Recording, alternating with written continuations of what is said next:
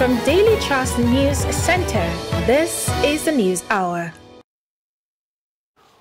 On News Hour tonight, Bond says NBC broke its own rule as condemnation continues to trail sanctions against Trust TV and others. Military authorities probe soldier-police clash in Lagos.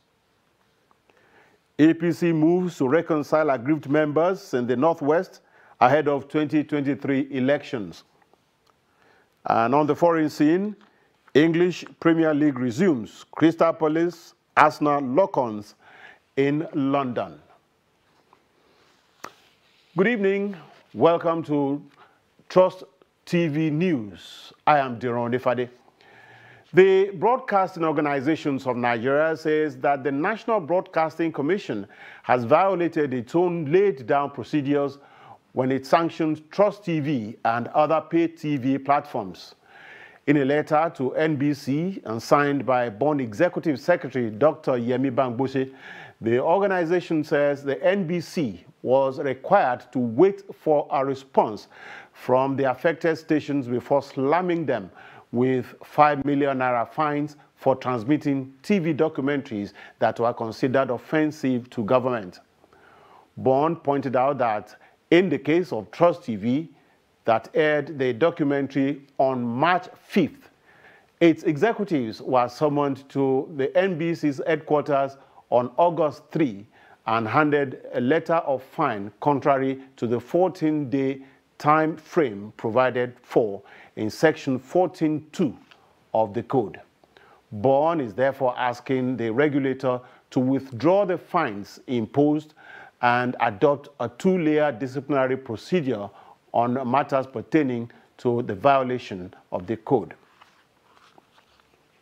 And some Nigerians have described the decision to fine Trust TV Network 5 million naira for a documentary it aired as authoritarian and undemocratic. They are also of the opinion that the action is an attempt not only to oppress the media, but to further heighten the insecurity bedeviling the country.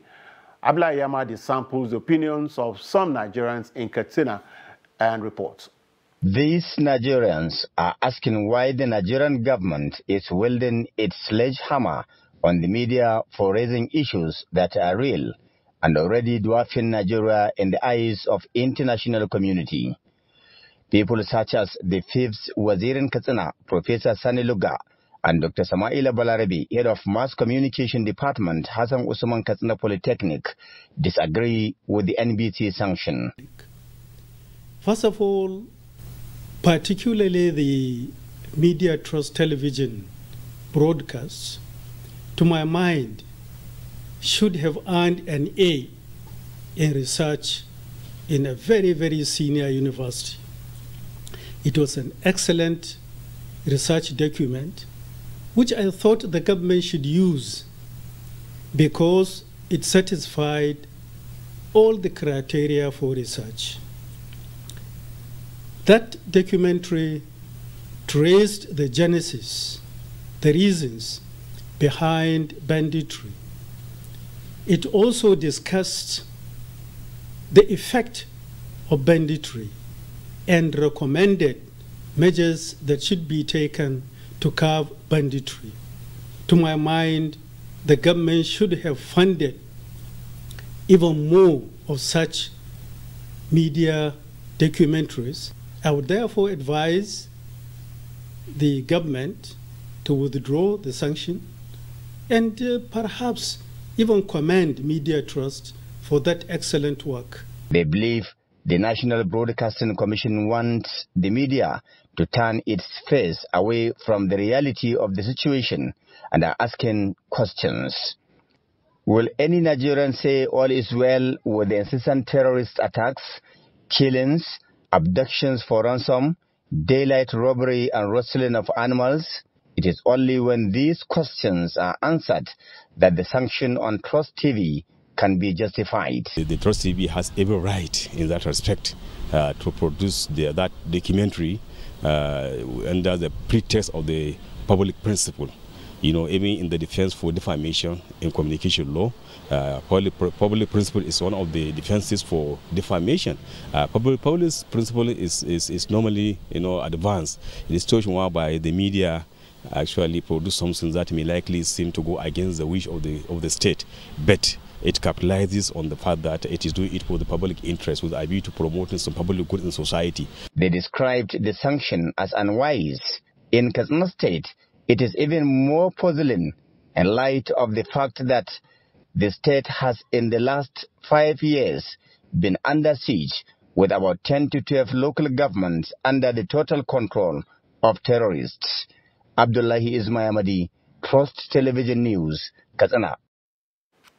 Meanwhile, some Abuja residents have urged the National Broadcasting Commission to rescind its recent decision to impose fines on Trust TV and other media outlets. The broadcast regulator had come under intense condemnation for penalizing the Trust TV for investigating and revealing the origins of banditry, its impact on its victims, and the motives of the bandits themselves. Government had accused Trust TV and other media outlets caught up in the NBC fine of glorifying bandits and terrorists. The residents believe government's action through the NBC amounts to gagging the media. Um, I, I feel it's not really fair because actually you guys are doing your job. It's uh, called investigative journalism. So basically, you know, you have to, at least it's done within the confines. It's not like any tips have been given to them. You're just trying to like give, you know, the government heads up that okay, this is what's going on, this is what's in in their mind and everything. So I think it's not fair. My opinion, I don't think it's fair. I think they should look into that documentary and extract vital information from there. Because uh, to, to, get documentary, that means that is like investigative journalism. You have investigated and you discover something, you are documenting it. They should actually be encouraged, they should actually be applauded for doing such. It shouldn't it shouldn't lead to giving them penalizing them. You understand? This is what even i believe the government is supposed to do. Generally speaking i don't see anything being being fair there because letting the citizen of this country to know what is happening about the banditry is something that everybody will embrace it. But for the government for ncc to just uh, find a charge nbc to just bring a fine of uh, 5 million naira on trust tv i think is very wrong it's not it's not encouraging Therefore, they want government to reverse the decision. I don't think it's fair because uh, uh, um, uh, journalists they do good job by going to, you know, get information for us to know what is happening. I don't think it's fair. If they really sanction them, I don't I think it's not fair.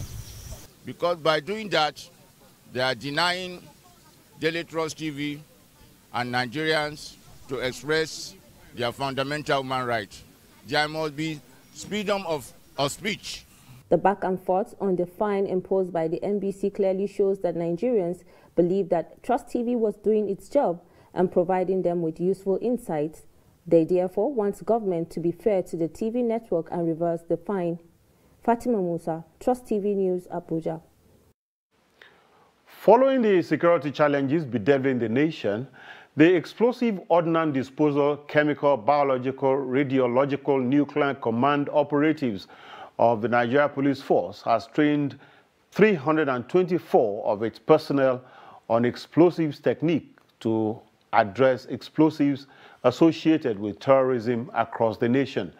Addressing the 324 auxiliary personnel at the Police Mobile Force Training College, Nasarawa State, at the course 29A 2022 graduation ceremony, the Inspector General of Police, Alkali Baba, charged the trainees to use the knowledge acquired to tackle the menace of insecurity in the country. IGP Baba, who was represented by the Assistant Inspector General of Police in charge of Federal Operations Department, Force Headquarters, Bala Ciroma, said that the training was aimed at enhancing and reinvigorating EOD operations across the nation. 192 of them were recruited this year and trained this year.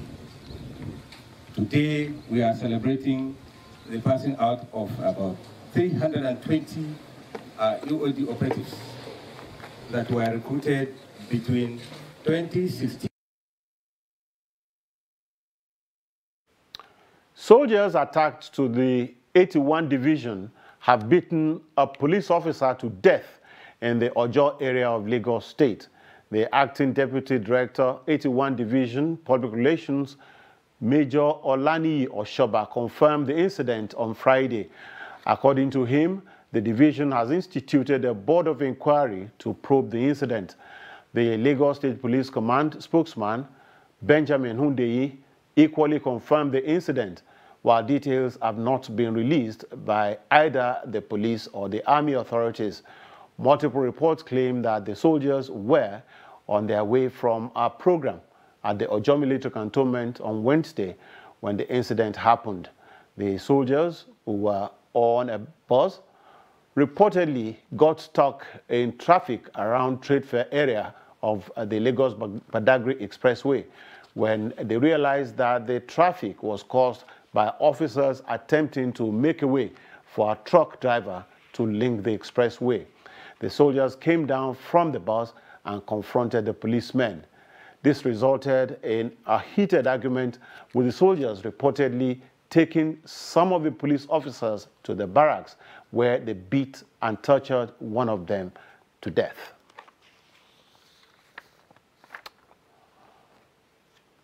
Four persons, including a traditional ruler and high chief, Michaela Bello, have been abducted by gunmen on Thursday evening while traveling back from Akure, Ondo State capital to Ikare Akoko. The incident was said to have occurred while the victims were traveling along the Agopano axis of Owo Ikare Road.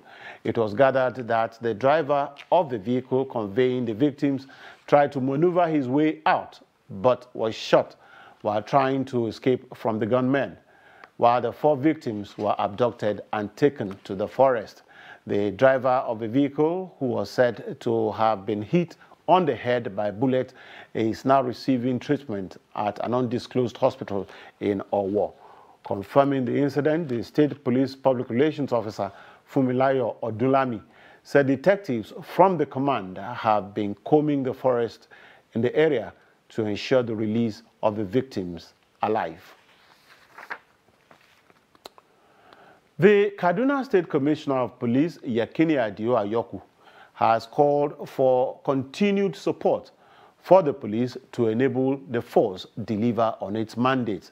The commissioner, who was represented by ACP Ibrahim Danladi of the Kafanchan Area Command, stated this at the graduation and passing out parade of the pioneer set of the students of Police Secondary School Tum Kagoro in Kaura local government area of Kaduna State. He called on the graduating students to use the training they received in the institution to better their lives and be good ambassadors of the police. In his remarks, the school commandant, Solomon Dantawaye Ambatu, commended the senator representing Kaduna South Senatorial District Danjuma Tella La'ah for sponsoring the school project. Senator La'ah said the police secondary school, Kagoro, is one of the best things that happened to the people of southern Kaduna in terms of educational development. This school as one of the constituency projects for this senatorial district I was verbally cited here in Tumkaguru, Kaura local government. Area following a keen competition among others. Several interested senatorial zones at the end of the competition, our senatorial district was selected by a dean of God's special favor him alone be all the praise and honor. It was decided, designed to have a primary secondary school section right in the secondary school compound and the main primary school at Kafachan. The primary school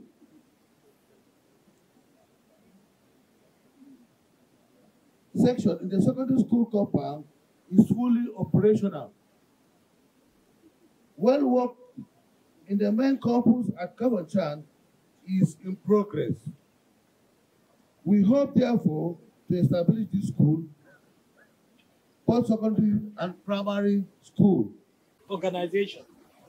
Wherever we are, wherever we associate with, we associate in terms of discipline and dedication.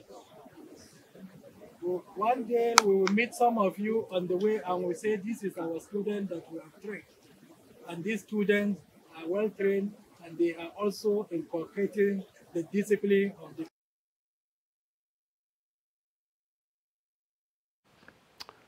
Men of the Ondo State Security Network Agency, the Amotekun Corps, have apprehended over 150 suspected invaders of northern extraction in Akure, the state capital.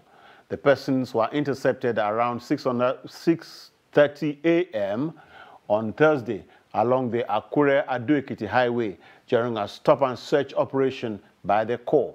The drivers of the two trucks conveying the invaders claimed they are coming from Abuja, Kano, Katsina, and Jigawa states to Ondo State. While addressing newsmen in Akure about the incident, the commander of Amotekun in Ondo State, Adetunji Adeleye, disclosed that they hid under bags of rice and beans in the truck, noting that they could not tell their mission in the state. He added that some charms and photographs were found on them, while the motorcycles in their possession did not have valid papers. Adeleye explained that the travelers will be interrogated and profiled before sending them back to their bases. Gunmen have kidnapped three underage children in Ajaokuta local government area of Kogi State. They are demanding a ransom of 100 million naira. The police public relations officer of the Kogi State Command, William Aya, confirmed the abduction on Friday. In a statement, he said the commissioner of police in the state, Edward Egbuka, has deployed operatives of various police anti-kidnapping units in collaboration with vigilantes and hunters to trail the kidnappers in order to rescue the children and bring the perpetrators to book. The three children, whose ages range from 3, 5, and 10, were on Wednesday around 8 o'clock in the evening kidnapped at their residence, Kaduna Estate, Ajaokuta Steel Township Complex, by yet to be identified gunmen.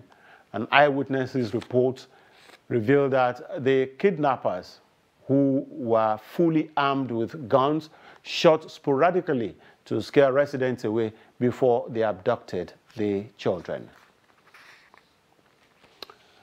Four persons have been confirmed burnt beyond recognition in a road accident Friday on the Lagos-Ibadan Expressway, while 16 others sustained injuries. The accident, which was said to have been caused by overspeeding, resulted in loss of control while the bus rammed into the median strip and burst into flames. According to the public education officer of the Ogun State sector of the Federal Road Safety Corps, Florence Okpe, the incident was a lone accident that involved a Mazda bus. The injured victims were said to have been taken to Victory Hospital Ogere for medical attention. The sector commander of the FRSC Ogun State Ahmed Umar has, however, advised motorists to obey traffic rules and regulations. You're watching News Hour on Trust TV. Coming up after the break, young robotic engineer in the making. Stay with us. As the 2023 elections draw near, remember, evil prospers when good men and women only wish for peace but never take a step to make peaceful elections happen. Are you a father? Are you a mother? What are you saying to your children as elections approach? Have you warned them not to let themselves be used to cause violence? Have you explained to them what the consequences of electoral violence might be? Do your part to make peaceful elections happen. Talk to your children. Protect them from unscrupulous politicians who want to put them in harm's way while their own children are comfortable at home, within, and outside the country. Let's join hands to make 2023 elections peaceful. This message is from the National Orientation Agency, NOA.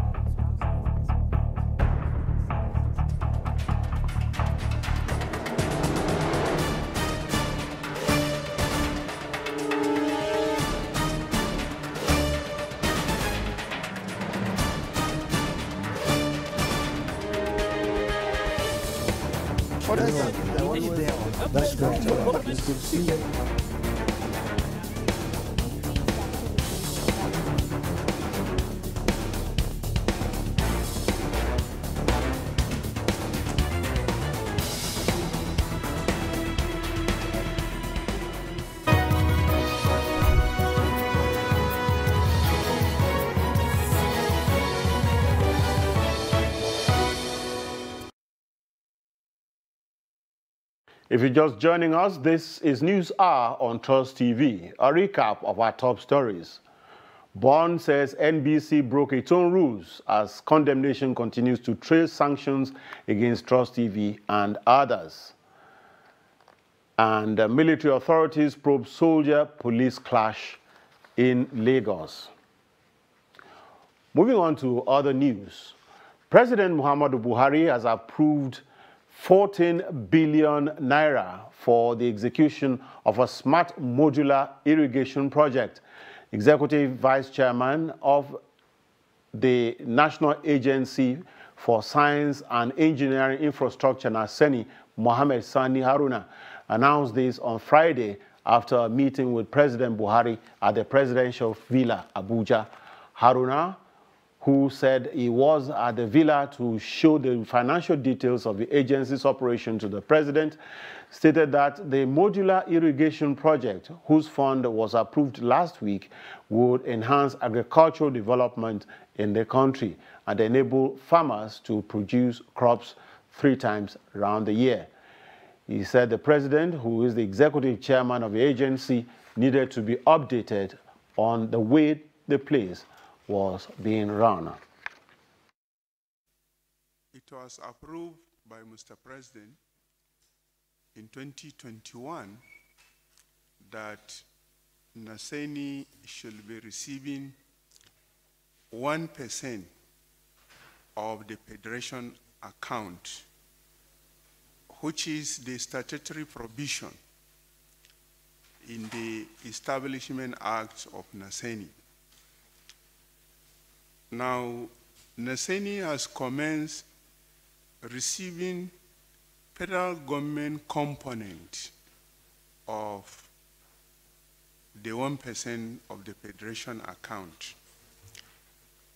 The budget of Naseni in 2022 is based on the estimated and expected 1% of federal government share of the federation account, which is 54 billion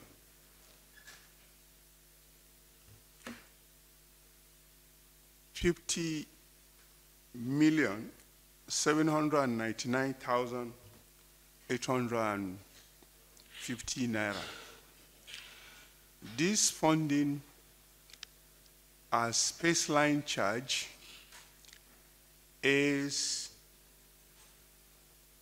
divided into 70.4% as capital, 11.22% as personnel, and 11.3% as overhead.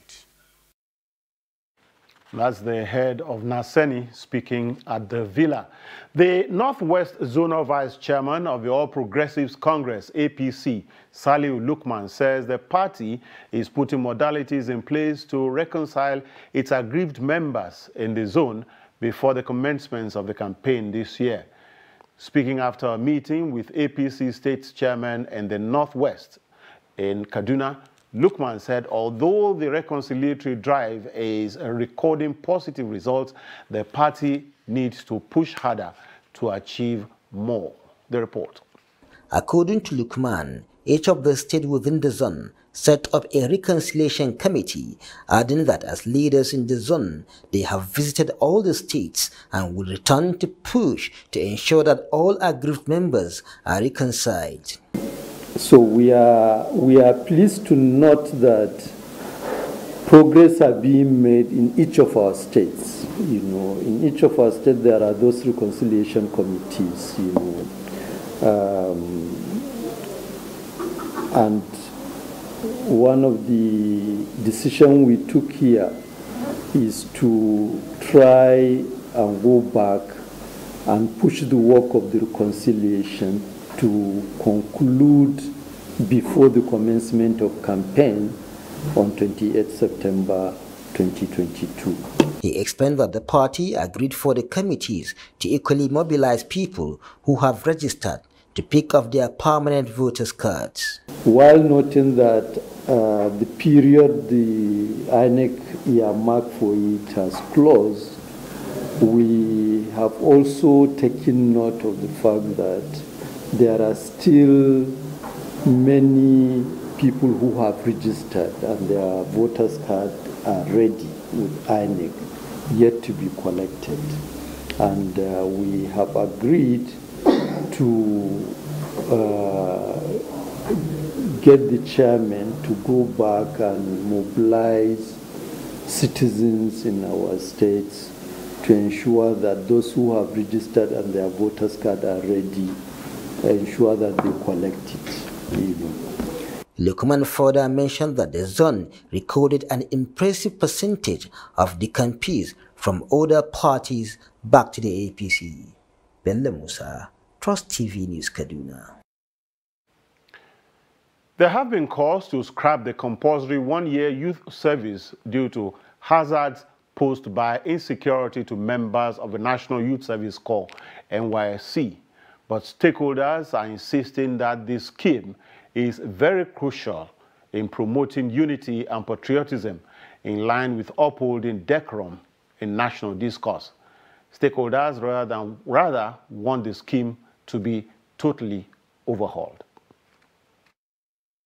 We are aware that the management of the NYSC has done tremendously well in securing of core members during their service year. We must also admit that various security measures introduced over the years by the NYSC management have been noteworthy in the sense that incidences of threat to lives of corps members have reduced drastically compared to what was the case in the past years. Therefore, it remains an illusion on the part of the advocates for the scrapping of the NYSC, which in our opinion was brought about by pecuniary gains rather than the relevance of the issue at hand. Our support for the operation and reforms in the NYSC remains unflinching as worthy partners in progress. We believe that with the right incentives, the NYSC will remain that critical agency that will address the challenges experienced by youths in the country to transform their hopes and aspirations into tangible realities. More on the youth. A 17-year-old secondary school graduate in Kano, Isa Barde, is building a robot as he prepares for secondary education where he intends to widen his horizon in the field. Isa Barde says he plans to study robotics to become an expert in artificial intelligence. Trust TV correspondent Idris Jibrin met Isa and sent in this report. It's been three years since Isa Barde started inventing this robot. He says it's part of his life aspiration, even though there is little or no outside support. With a little help from his brother, Isa can now move this robot using his hands.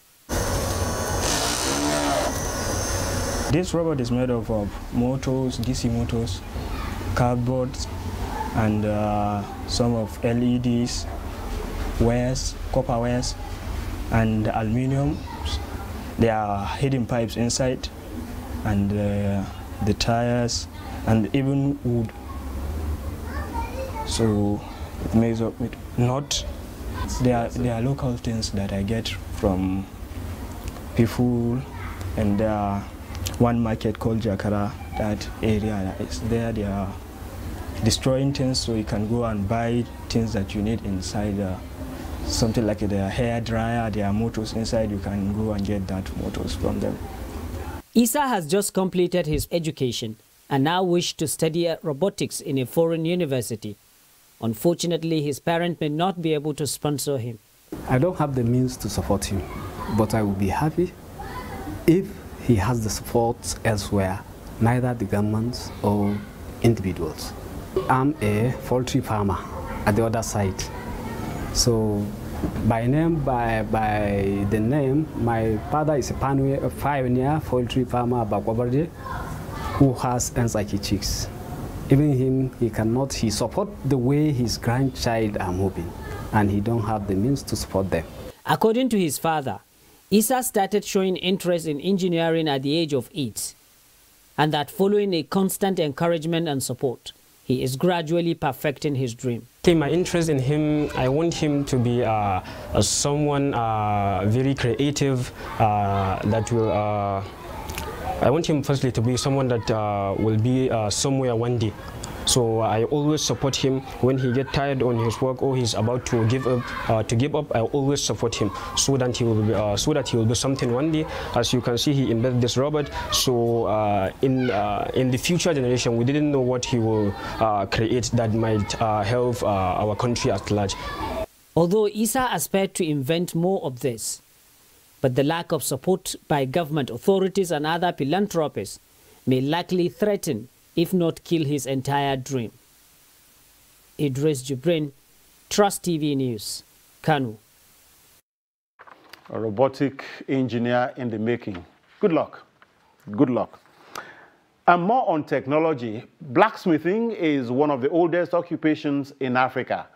It has for centuries provided humanity with skills to fabricate objects out of iron. However, the art of blacksmithing goes beyond hot and noisy environment. It is a source of livelihood for many, which is at the risk of facing extinction. In this report, Trust TV's Kabir Lawal, Kabir Lawal takes a look at how 60-year-old man struggles to keep up with the business as technology is overtaking the craft. The report. Blacksmithing in Nigeria is an old, long occupation. It is found across all tribes. It is mostly practiced by men and transferred from generation to generation. However, this is fast disappearing as many find it to be a cumbersome procedure that requires strength. Yakubu Ibrahim, a 60-year-old blacksmith in Abuja, said he has been into the blacksmith business since 1986 when he started in Jos, Plateau State capital. He said he cannot pass over the business to his children as they are all in school to secure a better future than his, adding that although he has people working for him, it is difficult to keep up with the technology that time that you didn't finish work this one is just surplus for ground you just go to dori and be packing and uh, anywhere where we go we just begin to buy later we begin to buy it small small mm. the aluminium you no even twenty naira that time mm. we started to even do it like small small before i for. The blacksmith further added that the prices of raw materials needed to produce objects have skyrocketed making the business to slow down. Like this one now, some other we have engine to do, but this one is a local one, you blow the fire and melt it. If to say the engine dey now and the measurement dey for ground, will be easy for us. You can produce like two hundred, one thousand a day because when the engine dey, e dey easy to produce. If the government can help so that the engine can come out and other things can come out the mold come out and the engine come out or wherever they are the engine dey we can process the engine so that we get the engine we can make the work be easy for us. Reports showed that blacksmithing is an emerging viable career path in the developed countries capable of creating wealth and huge employment due to availability of raw materials and modernized tools. But in Nigeria, the story may be different as Yakubu is still using obsolete tools for production. Malam Yakubu Ibrahim therefore called on government to introduce policies that can assist in preserving the trade. In Abuja, Kabir Lawal, Trust TV News. Uh, we move from handicraft to no craft at all. Street begging and hogging, hawking have been identified as some of the major causes of immorality amongst underage children as it exposes them to antisocial behaviors at an early age. An Islamic cleric and lecturer at the Waziri Umaru Federal Polytechnic, Birnin Kebbi, Mohammed Mujitaba, stated this in an interview with Trust TV. Hamza Galadima sent in this report from Birnin Kebbi. It is now 20 minutes after 10 in the morning in Birnin Kebbi. But if you look behind me, these are some of the young girls that are roaming the streets of Birnin Kebbi who are, instead of being in school, are on the street hawking. Street begging and hawking, especially by small children or underage children, has been a pain in the neck for most communities in Nigeria, particularly in the northern parts of the country. This is a situation when you see school-aged children hawking wares on the streets or marketplaces or being used to lead blind people to beg for alms on the streets. To most people, the major reason underage children are sent onto the street to either beg or hawk wares is poverty.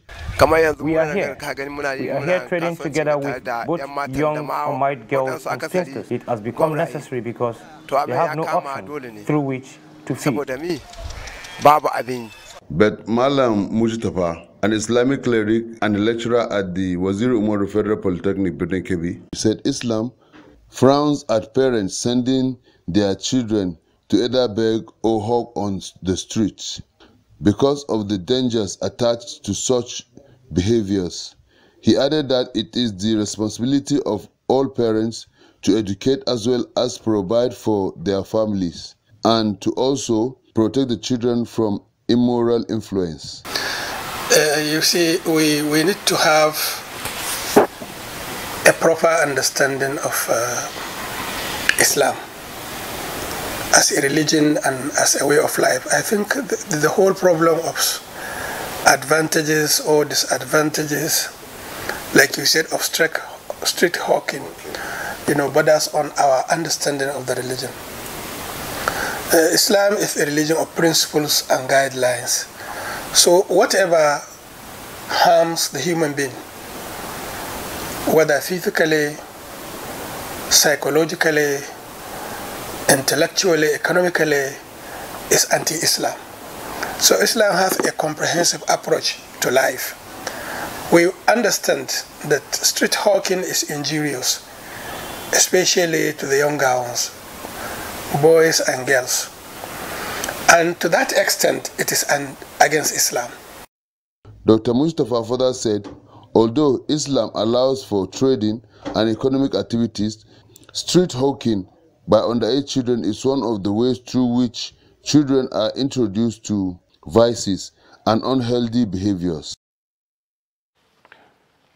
President Muhammadu Buhari said former Inspector General of Police, IGP Mustafa Balogun, popularly known as Tafa, who died yesterday, did his utmost to ensure that the police performed its statutory responsibilities under a democratic dispensation.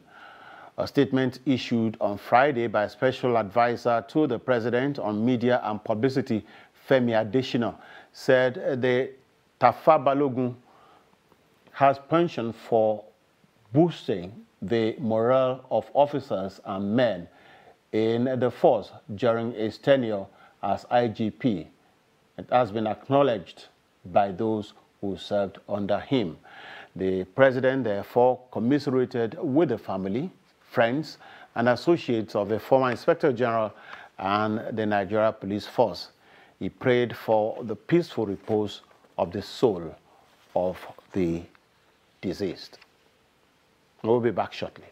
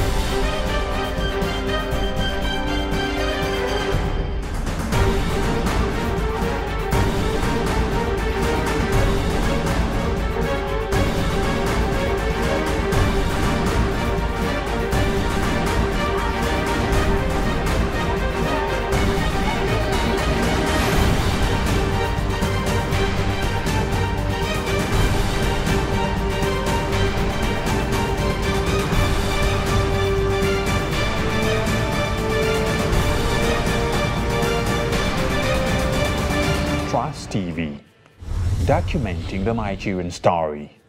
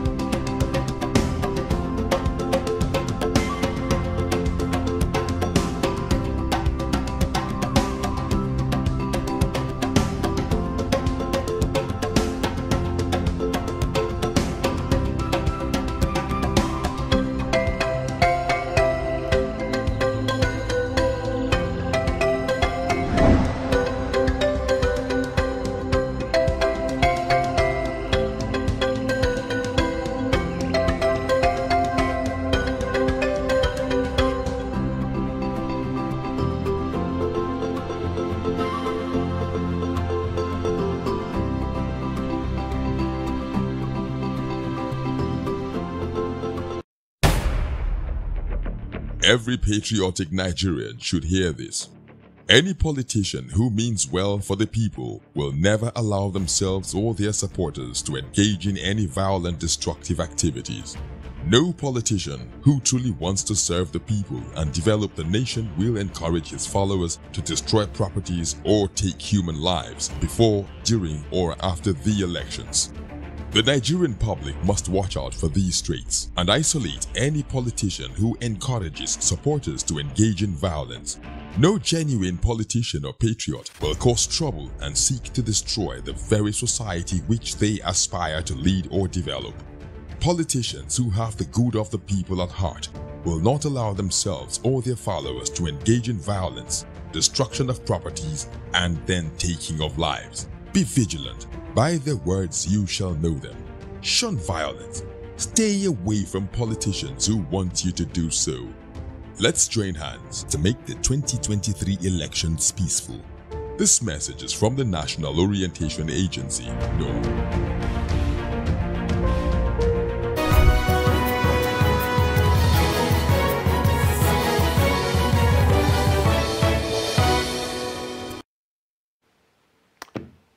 You're back on News Hour. On Wednesday, the Organization of Petroleum Exporting Countries increased Nigeria's September quota by 100,000 barrels per day, bringing it to 1.83 million barrels per day. Chamunda Beng in this report asked the question, can Nigeria meet up?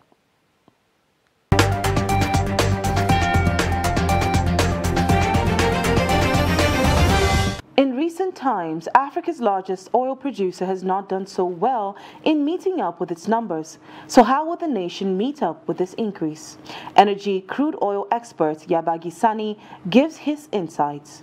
The increase by OPEC is supposed to be a cheering news, you know, for a country that is managing its resources well, but that cannot be said about Nigeria. The official information from government is that we are losing about five point something billion dollars every year. That is the official figure from 90, about four point something 96. Every year we are reporting this. And very recently, uh, information I think from uh, official quarters also says that we lost 80% of our revenue to oil to, to, to crude oil theft. The country has been patiently waiting for the completion of the Dangote refinery, which is said to possess the capacity to process about 650,000 barrels of crude oil per day. But there are fears that the new refinery will fall prey to oil theft, vandalism, insecurity, and policies that have hindered existing refineries from reaching their full potentials. If you remove those clauses, those constitutional provisions that are fueling corruption, you know, then it will work. Because if you deregulate the sector, where then Mr. Dong, Mr. Dangote now will come and then, of course, buy his crude oil, market price, sell his petroleum products, you know, market price, you know, and your name, your money will not be taken to pay Mr. Dangote. Care is not taken; they will even do more damage to you. They will steal more, you know, because these are Nigerians like yourselves, and they they will feel comfortable talking to each other. You don't know what they are doing, because they, they, the company is there for profit making, isn't it? Unfortunately, this is a company that is also a Nigerian company, and we know what happens in Nigeria. They can tell you they are operating international best practice, yes, you know, but I mean, uh, it's okay. It's a good move. More people will be employed. That's for that's for sure because it's institutionalized in your constitution. Chamun Dabeng, Trust TV News, Abuja.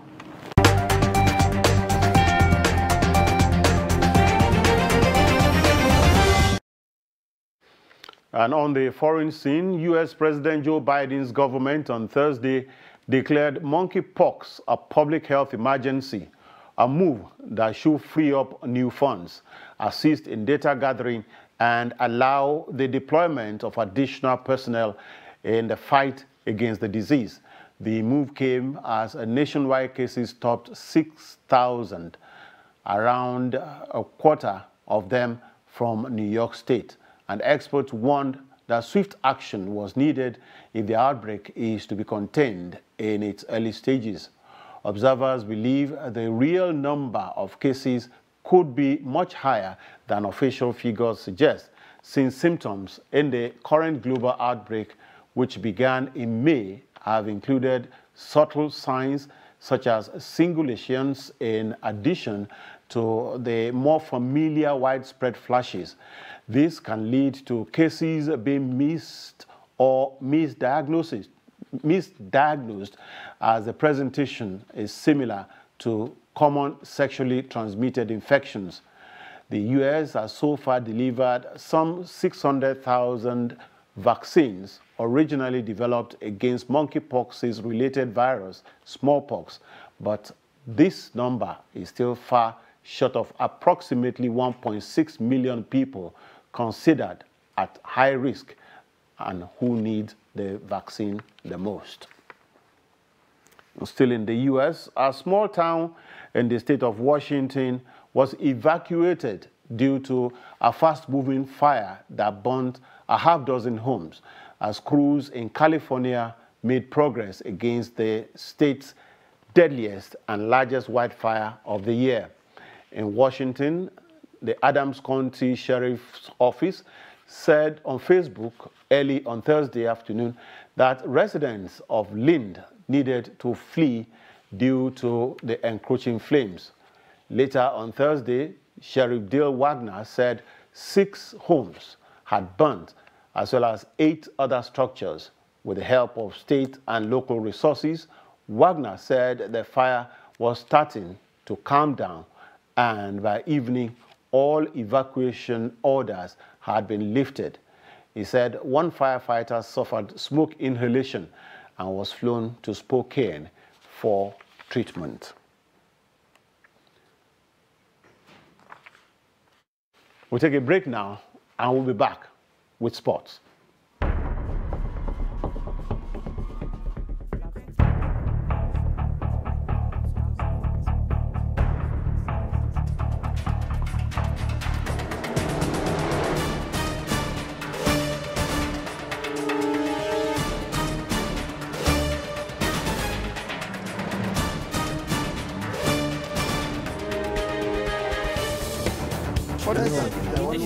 That's. It's good to see you.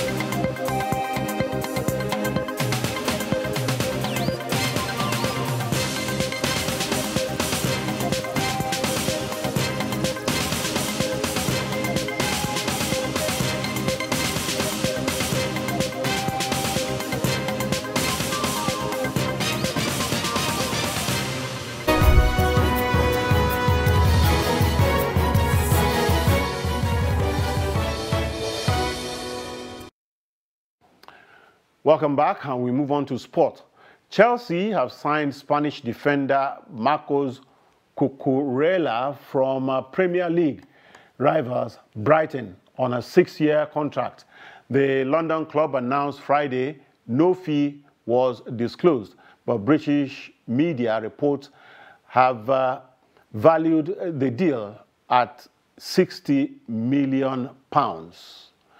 The 24-year-old should now be available for Chelsea's Premier League opener away to Everton on Saturday. The Spain wingback has now become Chelsea's latest pre-season signing with uh, Kalidou Koulibaly, Raheem Sterling and uh, Carney Chukwuemeka all having arrived at Stamford Bridge. Newcastle United manager Eddie Howe has uh, signed a new long-term contract just nine months after being appointed.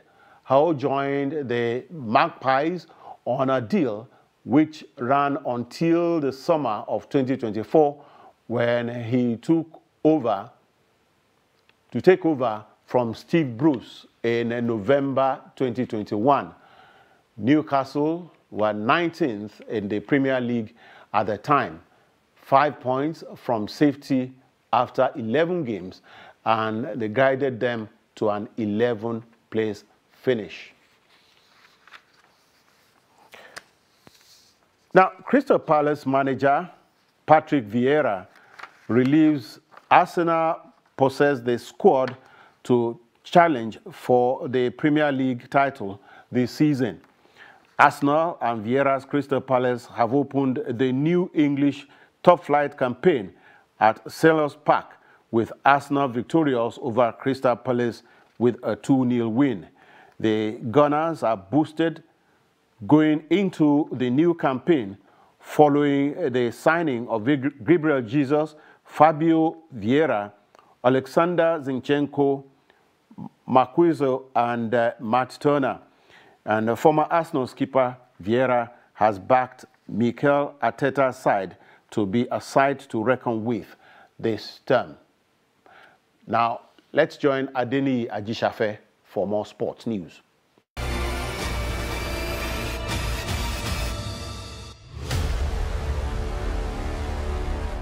World and Olympic champion Daniel Igali has been re-elected as the vice president of the Commonwealth Wrestling Board. Nigerian Wrestling Federation president Igali polled 17 votes to beat his closest rival from Canada, who scored 15 votes at a meeting of the General Assembly of the Commonwealth Wrestling Committee at the ongoing 2022 Commonwealth Games in Birmingham. The three vice presidents of the board from 2022 to 2026 will see the board improve on the development of wrestling within the Commonwealth. 13th edition of All African Games will hold from 4th to 19th August 2023 with Accra, Ghana as the host city. The West African nation is hosting the quadrennial continental sporting event for the first time in history. Organizers had already approved a 23 sport program for the African Game next year.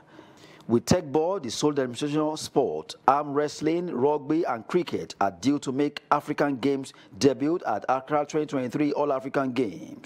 And in Commonwealth Games, World record holder Tobiloba Amusan has qualified for the final of women's 100-meter hurdles at the ongoing 2022 Commonwealth Games with an easy win clocking 12.40 seconds in her three hurdle race. Meanwhile, Nigeria Ese Brume also hit the automatic qualification mark, leaping a distance of 6.81 meters on a second attempt to make the women's long jump final. Tobi Amusan Ese Brume will return on Sunday in the 100-meter women hurdles and long jump at the Alexa Alexander Arena in Birmingham City, England. Amusan holds world record 12.12 seconds in 100-meter women hurdles. And still in Commonwealth Games, Nigerian wrestler Odunayo Adekuoroye has claimed gold in the women's 57 kilogram category freestyle wrestling after beating Anshu Malik of India. The 2018 Commonwealth Games champion defeated her opponents 6-4 in the final to successfully defend her title. She won gold in Gold Coast in 2018 and ruled the final. The reigning African champion defeated Canada's Hannah Taylor in the semis in the swashbuckling 10-0 victory. The gold increased Team Nigeria's gold medals to six gold in all. That's Sport News. I am Adeni Ajishafe.